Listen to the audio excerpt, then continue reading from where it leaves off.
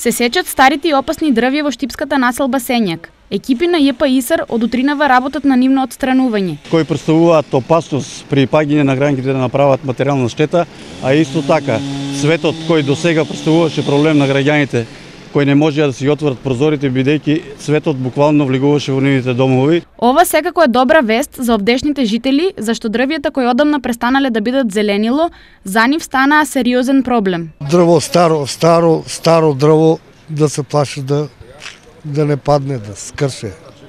Докачуваат уз зграите. Тие треба да се очистат. Не е лошо. Добро е ваш се изчисте.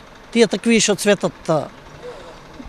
Та, Установите ги Установите во терасите се са пуни ѓубре од тоа што цветат. Тие нека се изчистат, тие што не са потребни. Сите овие активности се на иницијатива на урбаната заедница. Би сакал да изразам голема благодарност на јавните предпријатија ИСР и Стипион кои се уклучија во нашата активност за средување на населбата и за обезбедување на поквалитетни услови за живење на граѓаните во населбата.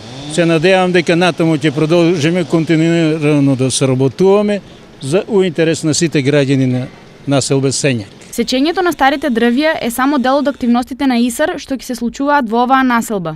Учествува со косење на зелените површини околу зградите, како и околу детските игралишта, а веќе утре во детската градина, градинка во Сењак, ќе има садење на нови садници, неколку броја на јасен и бреза, Освен во Сењакот, екипи на двете штипски јавни предпријатија ќе бидат ангажирани во сите урбани заедници како дел од активностите на општината за почисти поубав штип.